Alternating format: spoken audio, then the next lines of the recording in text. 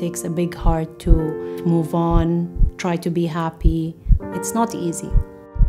Yeah, I like hearing people laugh and talk and share. It's a nice feeling. Making people laugh or making people smile is always a good thing. Something that I don't know what the word is, but contagious. My son has my heart today.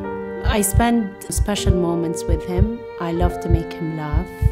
I like him to watch things that make him laugh, so it's natural. It's very important to always be connected to your inner child and not forget that you were once a child. Even as an adult, you need to be childlike and happy, and it's so important to connect with him by bringing out my inner child.